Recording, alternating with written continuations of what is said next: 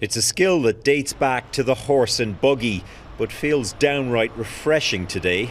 The UK's famous black cabs find their way around London's 26,000 streets without GPS, relying only on the wits of their drivers. Left at St Pancras Way, right at Crowndale Road, left at Hampstead Road. Tony Burnside is among the thousands of drivers who've had to study for the intensive memory test known as the knowledge. It is said to be the hardest driving exam of its kind in the world and can take years. Tony says it only took him 15 months.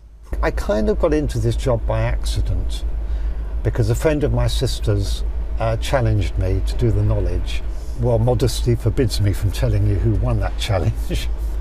But London cabbies get brain benefits along with bragging rights. It's been scientifically proven that on average they boast bigger posterior hippocampuses than the rest of us. That's the part of the brain that manages long term memories and spatial awareness. Now, an ongoing study is revealing more.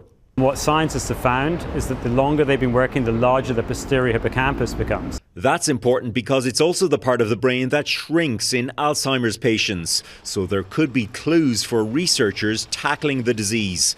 And technology trailblazers too are thinking about how to harness this unique brain power.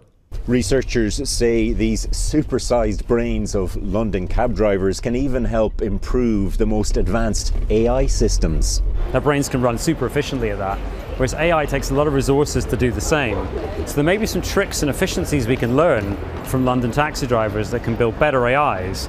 So while AI and tech like self driving cars could be the way of the future, they're no match yet for the grey matter in Tony's black cab. Redmond Shannon Global News, London.